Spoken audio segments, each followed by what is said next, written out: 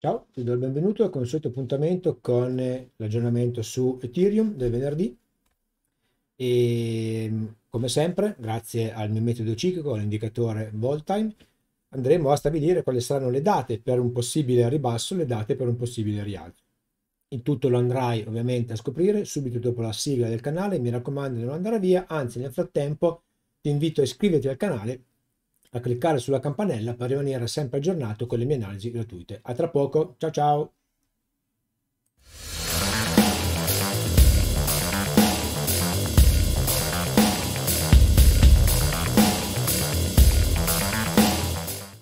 Eccomi qua, sempre in maniera super veloce, se è la prima volta che mi stai guardando ti do il benvenuto sul mio canale, sono Paolo Pesino, sono un trader del 2007, da 8 anni la svolgo come unica attività e mi puoi trovare sul sito tradingpertutti.com. Ti invito a visitarlo, a eh, registrarti al canale Telegram gratuito per avere accesso alle due analisi cicliche multiday gratuite, analisi ciclica intraday su DAX, Nasdaq e anche altri strumenti due, almeno due volte alla eh, settimana e anche a registrarti quindi a un canale che è molto ricco di, mm, è un canale vivo, ci sono tanti commenti, ci sono tante analisi, e tante discussioni macroeconomiche, a volte qualche discussione di troppo che non dovrebbe esserci, ma fa parte ovviamente del, del numero di, eh, di, persone. Ti invito anche a eh, visitare il resto del, del, mm, del sito mo, concentrandoti molto sull'indicatore ciclico a volta, che se non hai mai visto le mie analisi vedrai tra poco, che permette di ehm, proiettare nel futuro il movimento dei prezzi, quindi sapere con giorni,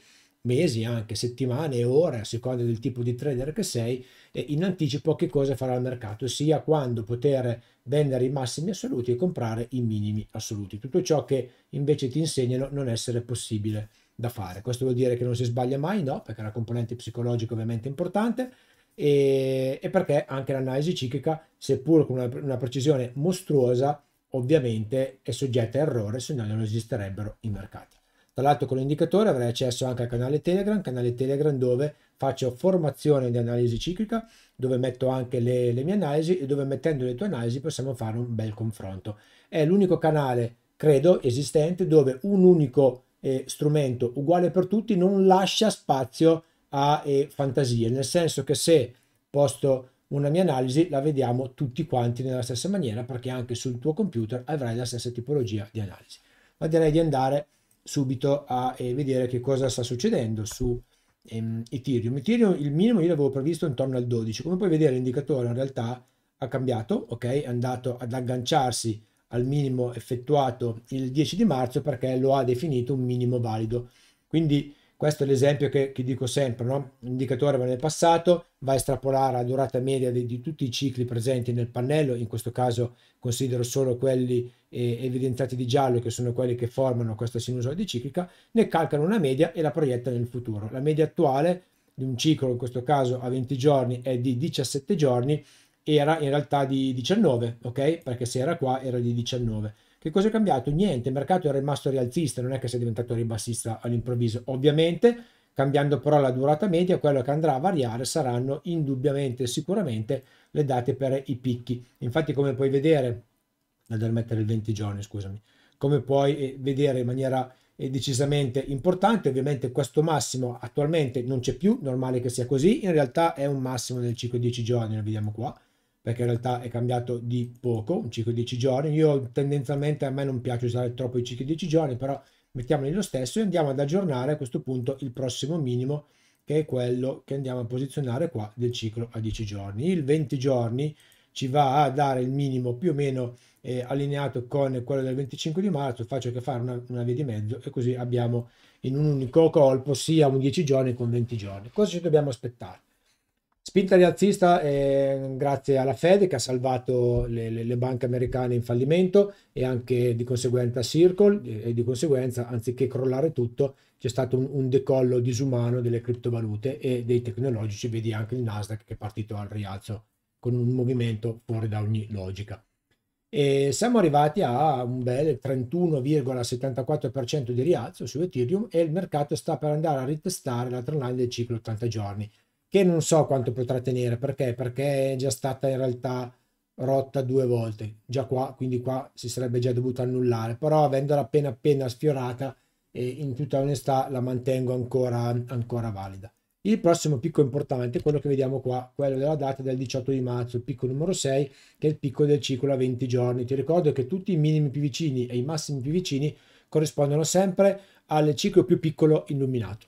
Quindi in questo caso il 20 giorni è previsto per il 18 di marzo, sia domani se non sbaglio, esatto per il 18 di, ehm, di marzo, e quindi andare a posizionarsi long adesso lo si può fare solo per l'entusiasmo, ma se ci basiamo da un punto di vista, scusatemi, non ho tolto come al solito l'audio, se ci, se ci basiamo da un punto di vista, mannaggia, da un punto di vista ovviamente dell'analisi, non dobbiamo più andare a cercare delle condizioni rialziste al momento, ma dobbiamo fermarci perché il mercato su base statistica dovrebbe ritracciare quantomeno fino più o meno al 26 di marzo. Non ho trend line da poter ritracciare neanche una 10 giorni, no, tra l'altro 10 giorni anche sballa, ah, sballato perché non c'era varianza, mannaggia ho fatto casino, mi sa che dovrei fare tutto.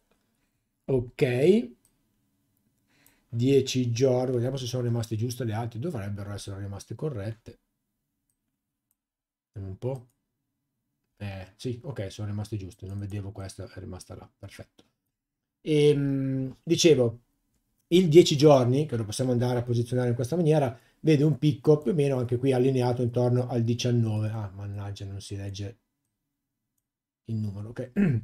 intorno al 19, in realtà è previsto intorno al 21, 21 di marzo, mancano 4 giorni, in realtà si potrebbe forse anche se si è rialzisti mantenere l'operazione, però assolutamente andrebbe ehm, chiusa a, a, contatto con la trend line perché se andiamo a vedere bene qua, ok, perfetto, eh, siamo su un bel livello di resistenza, quello di 1778 con un livello di resistenza davvero molto importante. Dicevo, non ho trend line del ciclo 10 giorni perché il minimo di 10 giorni io non considero ancora valido questo, aspetto che chiaramente me lo vada a validare l'indicatore grazie all'algoritmo proprietario che mi va a fare tutti i calcoli nel passato e poi tra l'altro come vi dicevo un ciclo che non uso neanche troppo, non mi piace neanche troppo andare a utilizzare, il 20 giorni è sicuramente il, un ciclo molto più affidabile da lavorare perché me l'ha parcheggiato qua sotto? L'ho messo qui. Ah, perché ero sotto il prezzo, mannaggia. Ok, 4. Sto facendo un po' di casini con i numeri, vabbè, fa niente. E qui abbiamo il piccolo del 20 giorni. Quindi rimango ancora dell'idea di poter vedere uno storno sulle, su Ethereum. Per comunque poter prendere un'operazione a rialzo bisognerà attendere che il prezzo raggiunga il minimo minimo non intendo di prezzo, intendo di tempo, quindi possiamo anche vedere una cosa del genere, sarebbe sempre un'analisi corretta da un punto di vista ciclico, ok? Quindi vedere il mercato fare anche un movimento più di rialzo e poi andare a ritracciare anche solo qua e poi ripartire. In realtà se guardiamo la sommatoria dei cicli è abbastanza evidente essere comunque ribassista, perché se ci mettiamo così è abbastanza chiaro, okay, lo vediamo, questa è una componente del ciclo a 40 giorni, ok? Che qui avrà tutta la sua fase di ribasso, andiamo a vedere anche l'80 giorni che è già nella sua fase di ribasso. Quindi la spinta ribassista è ancora importante, è ancora valida. Questo rialzo è stato un rialzo drogato, non un rialzo tecnico, ma un rialzo come al solito perché la Fed ha ricominciato a stampare come se non ci fosse un domani. Non so se avete visto in giro i vari grafici di, di, mm, di Bloomberg, sostanzialmente in due giorni ha già ricoperto metà delle, mm, della riduzione di bilancio che è iniziato, mi pare, se non ricordo, verso la fine dello, dello scorso anno, quindi in, in, soltanto in soli due giorni. Questo ovviamente ha portato gli investitori a investire di nuovo su tutto ciò che è rischioso, come le criptovalute c'è stato rialzo. Quindi direi che con questo ci possiamo salutare. Per fare due, il, diciamo, il riassunto. Long, no, siamo un po' troppo tirati, siamo vicino al livello di resistenza, mancano pochi giorni a quello che potrebbe essere il picco del, del ciclo posizionarsi al ribasso non è ancora eh, l'ora perché un ribasso al momento lo si vedrà solo sotto a 1661 o dovesse rompere il livello di 1778 sempre solo un ribasso lo si vedrà sotto appunto al livello.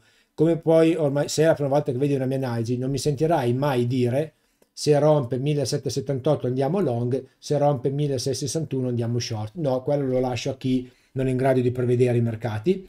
Con l'analisi ciclica con il mio strumento ci si può cioè si possono prevedere i movimenti del mercato, come puoi vedere dalle, dall'indicatore, va proprio a centrare eh, perfettamente quelli che sono eh, i cicli di mercato e ovviamente c'è un rispetto da parte del mercato della componente ciclica. Se andiamo un po' più sul lungo, vediamo un po' se riesco a mettere un po' più storico, ma non credo. Vediamo un po'. volta in 2.0 ho impostato 500 perché non so quanto ne ho nel passato a disposizione eh no purtroppo non c'è abbastanza storico nel passato e quindi mi si ferma qua e, ehm, però è abbastanza evidente che qui abbiamo tutta questa componente ribassista e il rialzo più importante ce lo avremo poi qua intorno ad aprile perché? Perché quando vedi questi, questi movimenti così impulsivi, così forti, significa che, vado a rimettere il 20 giorni, ok? Significa che ci sono più cicli in sincronia. Che cosa vuol dire? Vuol dire che il mercato quando è così che non si capisce niente, come, puoi vedere qua, ha i cicli che sono sballati, nel senso che non sono sincronizzati, ossia anziché essere, per intenderci, fatti così, ok? Sono fatti, ok, questi così, però poi qua ce n'è qualcuno in mezzo, ce n'è qualcun altro in mezzo e questo provoca praticamente una spinta quasi uguale sia da sopra che da sotto il mercato rimane in orizzontale. Quando invece abbiamo una componente così, vuol dire che abbiamo, oppure anche a ribasso ovviamente, che abbiamo i cicli che sono in sincronia, quindi vuol dire che se il mercato, se i cicli sono fatti così, avremo qua, che ci sarà in questo caso una partenza al rialzo, tanti cicli che qua chiuderanno il loro minimo e poi ovviamente partiranno con il massimo. Questo porta ad avere una spinta, la vediamo che è molto più alta rispetto invece a una sommatoria dei cicli come poteva essere qua che causa una, una lateralità. Quindi vale la pena aspettare per un long eventualmente fatto come si deve, più o meno intorno alla data del 13 aprile, gireremo grosso modo l'intorno, per poter andare a cercare delle condizioni rialziste. Andiamo a levare questo che ormai non serve più, non me lo fa cancellare, lo cancelleremo un'altra volta. Con questo è tutto, veramente ti auguro una buona eh, serata e ci aggiorniamo alla prossima analisi sull'Ethereum. Ciao ciao!